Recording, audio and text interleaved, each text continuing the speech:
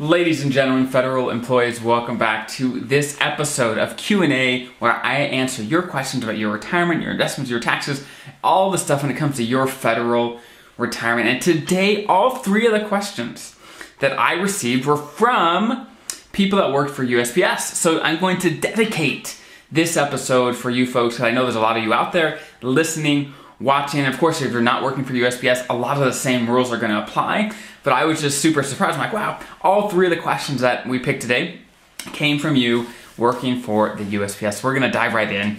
And question number one, without further ado, they say, hey, hi, Dallin. I listen to your podcast and deliver mail every day. You're awesome. Well, I think you're pretty awesome too. They say, my question is about the 4% rule on the TSP.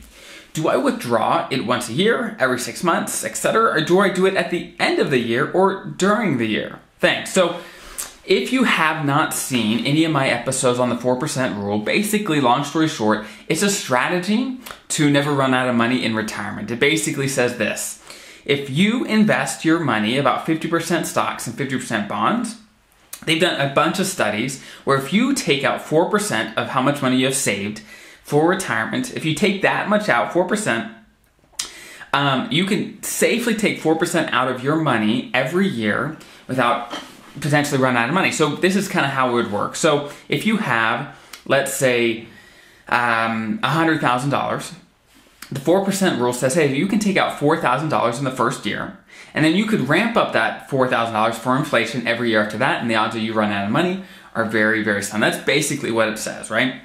But what this gentleman is asking, or lady, is asking is okay, I get the 4% rule, but when do I take the money out? Is it every year? Is it every month? Is it every quarter? How does that work? And the long or the short answer is it doesn't really matter. It doesn't really matter as long as you don't go over the amounts that you're supposed to take out, right? As long as you don't go over those amounts, the 4% rule will work, right? And obviously, you want to have a strategy of short term money and long term money so that when the market is down, you're not pulling money out of the down market. You want to have money that you can pull out of so you don't have to touch your long term investment. That's kind of a whole other topic, but long story short, it really doesn't matter if you take out every year and you take the money out that you're going to need for the whole year, or if you take it out every month. It really doesn't make a huge difference, right? Especially if you have these buckets set up like we talked about, um, where your short term money, mid term money, and then of course your long term money. So hopefully that answers your question. Okay, so question number two. They say, I am 62 and still an actor, active letter carrier. So go USPS again. They say, hey, I started the Roth TSP just a couple years ago because I was unaware of it before that.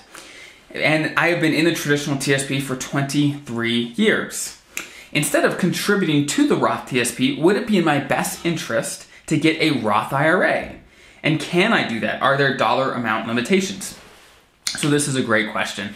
Often, many people that um, listen to my my stuff, whether on YouTube, on podcast, they hear me talk about the Roth TSP, the Roth IRA. They're like, "Oh man, I haven't used it because the vast majority of money that's in the TSP is in the traditional TSP. That's just how it is, right?"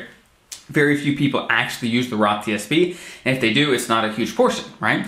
Now, I'm not saying it should be a big portion, especially as you approach the end of your career, but here are a couple things to think about. Basically, what this question is asking is hey, I just learned about the Roth TSP and the importance of having Roth money in retirement.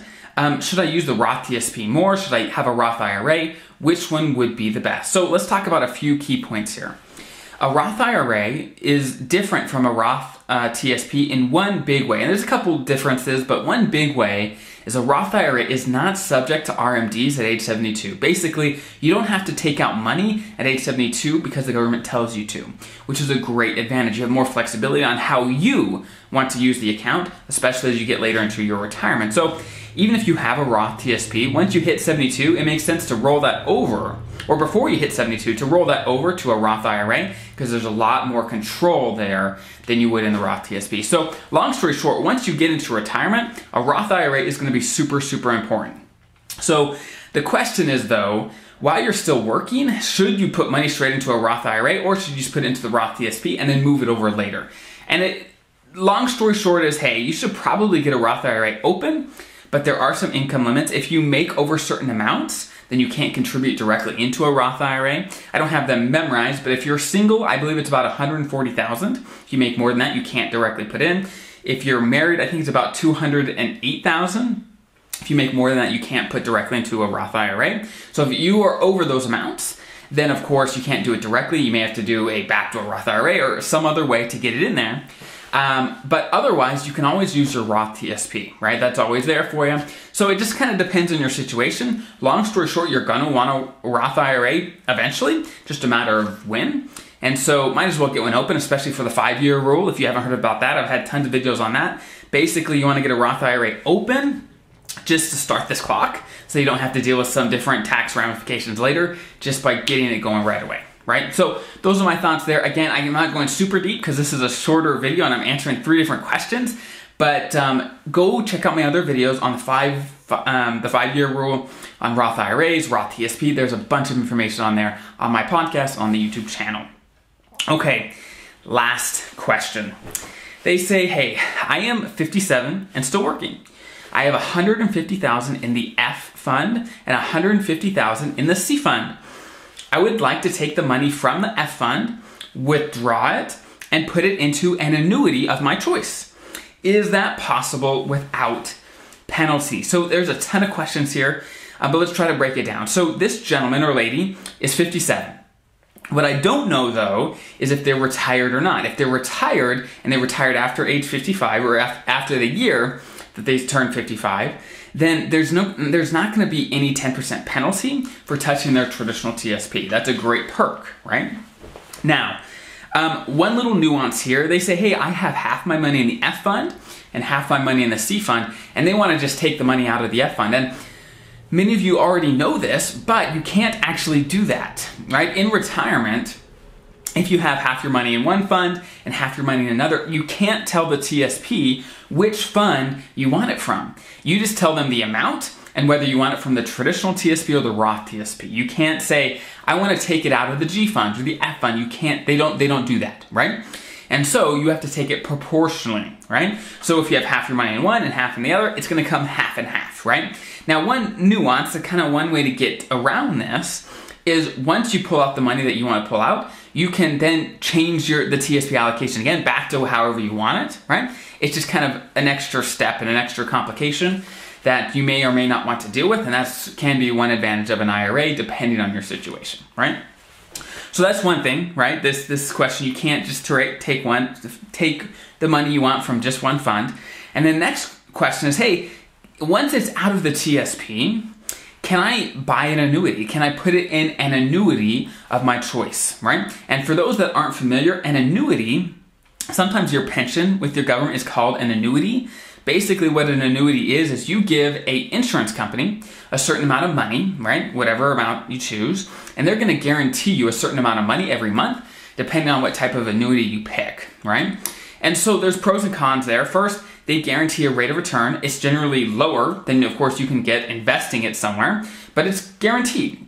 So um, I have def definitely done some other videos on annuities, but the long story short of it is as a federal employee, I rarely, I don't think I've ever actually recommended where an annuity from your TSP money makes sense because you already have your pension, you're going to have social security, you may have a pension from military time. You, you probably have a quite a bit of fixed income, which is amazing, but if you don't have any income that you can actually control, control meaning let's say something comes up, there's an emergency, you need cash, whether to buy a home, whether there's a medical emergency, whether long-term care, you, you want to have money that you can invest, that you can control, and when things come up, you can move that around. If you buy an annuity, you lose control.